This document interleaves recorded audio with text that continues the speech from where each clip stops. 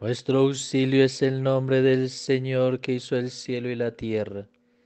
Escucha, Señor, nuestra oración y llega a ti nuestro clamor.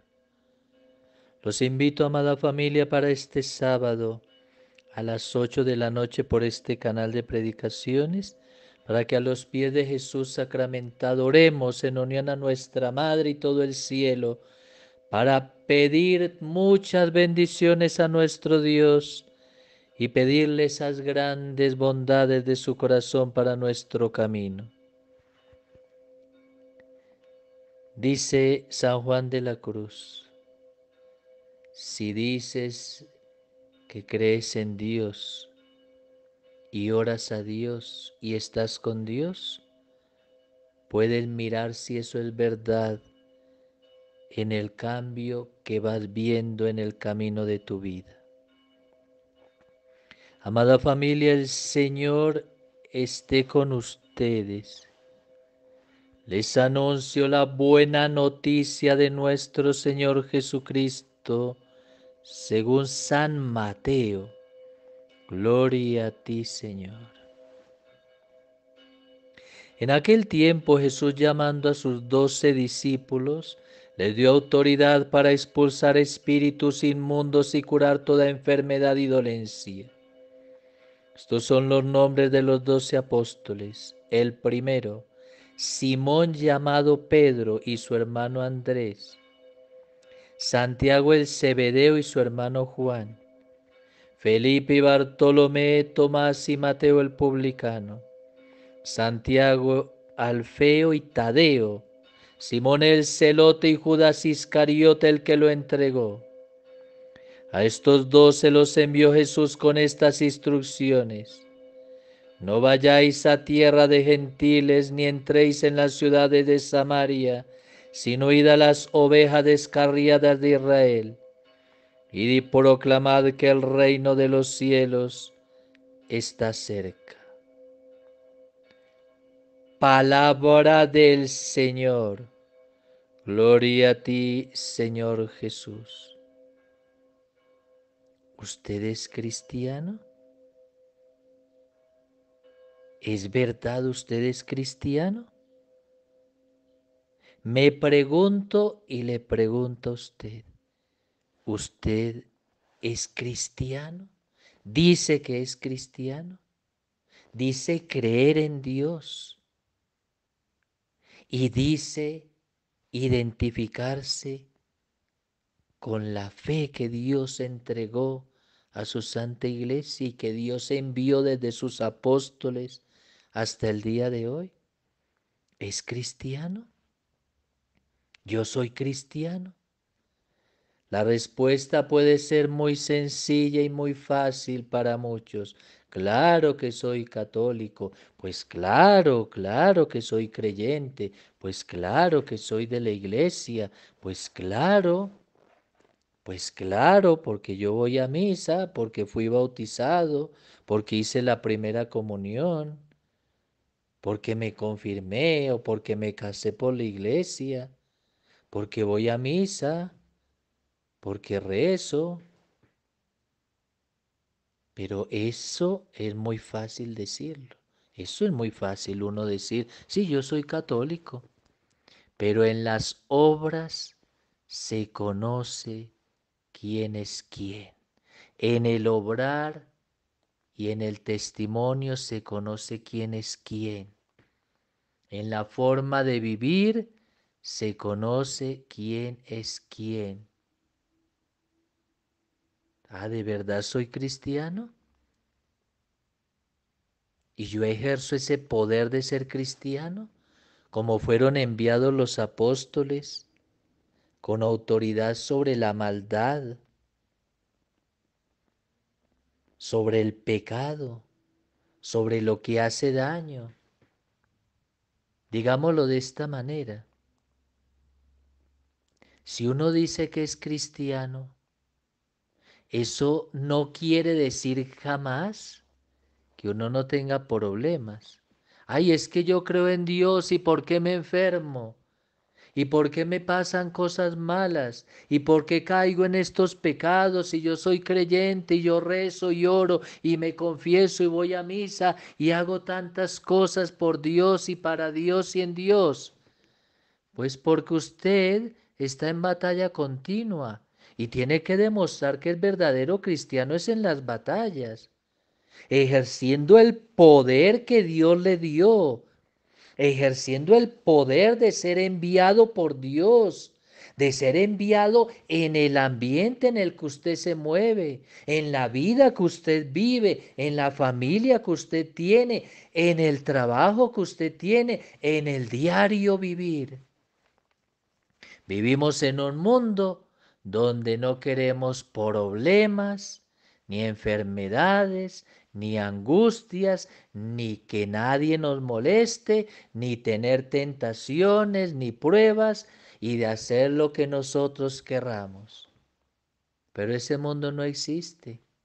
Vivimos en un mundo donde hay problemas, dificultades, enfermedades, angustias, desesperaciones, tristezas, dolores, momentos duros, contiendas duras, guerras duras y difíciles.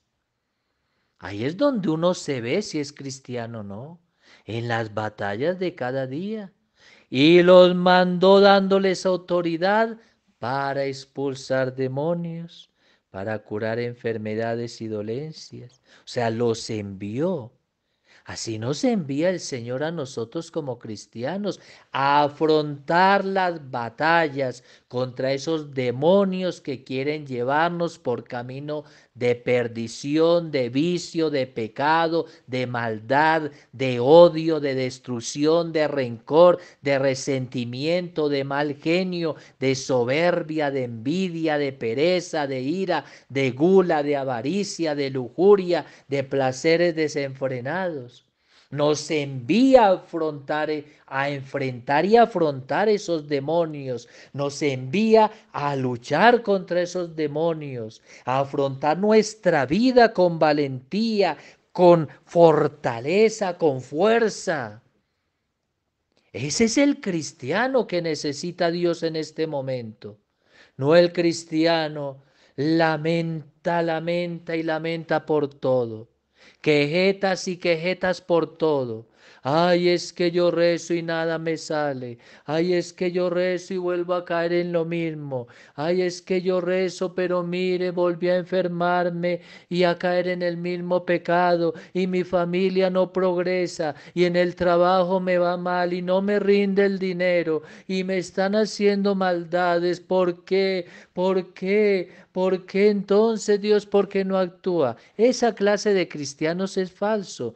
El cristiano verdadero es el que le pone el corazón a las batallas porque va con el poder de Dios a batallar, va con el poder de Dios a guerrear todo el momento, todo el tiempo, en los lugares, circunstancias e instantes en los que se encuentre. El verdadero cristiano no es el que porque reza no voy a pasar nada y no voy a tener conflictos ni problemas. Por el contrario, voy a tener muchas batallas, pero con el poder de Dios voy de frente en la batalla, voy luchando con el poder de Dios, voy firme con el poder de Dios, porque delante de mí está el Señor, porque conmigo está el Señor, y como decían los israelitas, porque conmigo va el Señor de los ejércitos. El verdadero cristiano es el que dice, yo tengo la autoridad de Dios.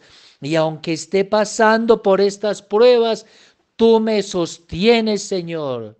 Y como dice el Salmo 23, porque el Señor es mi pastor, nada me falta porque Él me conduce por cañadas oscuras, porque Él prepara una mesa ante mis enemigos, porque Él me dará la victoria sobre el enemigo que me ataca, porque Él es mi luz y mi salvación, como dice el Salmo 27. ¿Y a quién temeré si el Señor está conmigo? Porque todo lo puedo en Cristo que me fortalece.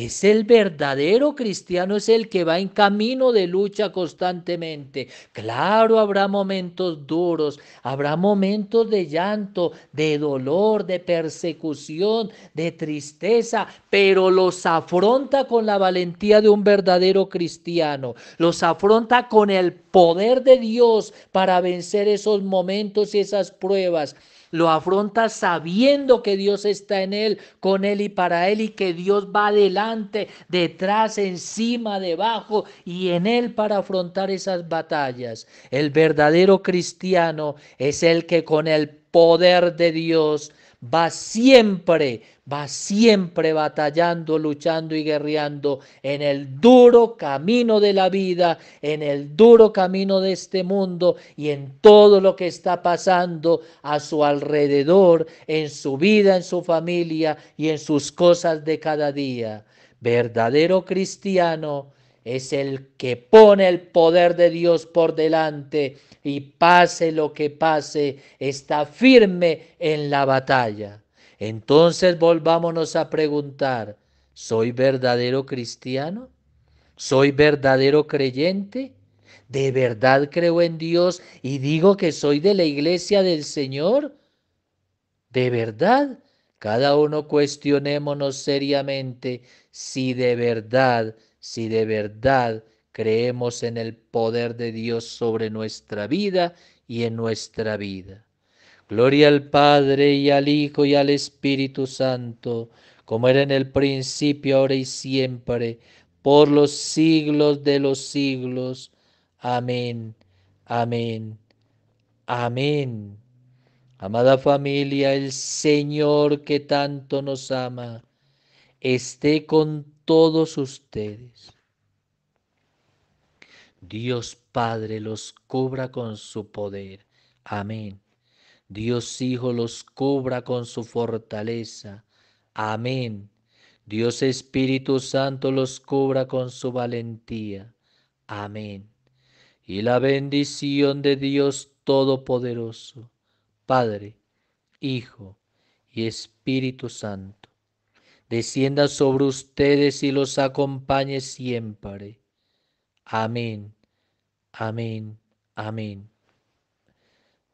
Con el auxilio de la Santísima Virgen y San José, la protección de San Miguel y los santos ángeles, la custodia de nuestro santo ángel y la intercesión de todos los santos, proclamemos nuestro auxilio es el nombre del Señor. ¿Quién como Dios? Nadie como Dios. ¿Quién contra Dios? Nadie contra Dios. Podemos estar en paz. Demos gracias al Señor.